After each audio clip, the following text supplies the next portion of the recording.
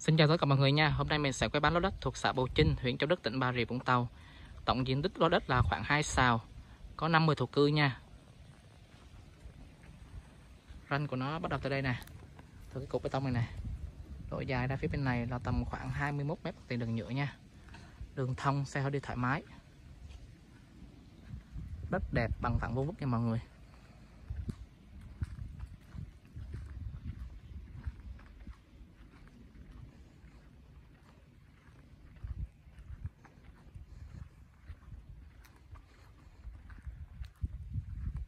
Có cổng rào đầy đủ. À, ranh của nó tới đây là hết nè. Cái cột tông này là hết nè. Trên đất mình à, hiện tại đang trồng à, cây ăn trái nha. Như là chuối mít chôm chôm. Sầu riêng.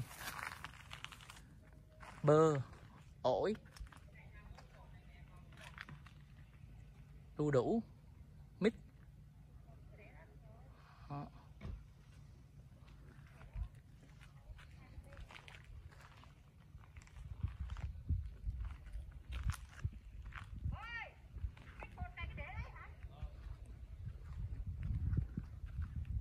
trên đất mình có một cái tròi nha mọi người. Điện nước đầy đủ.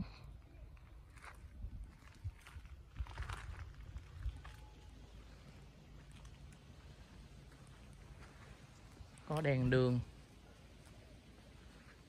Xung quanh là có dân cư ở nha.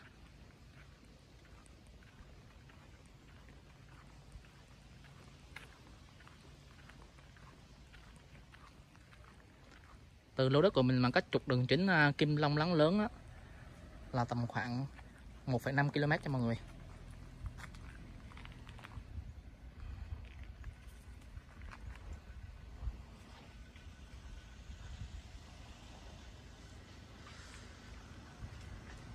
Đó là thích hợp cho những ai làm nhà vườn nghỉ dưỡng thì quá ok luôn.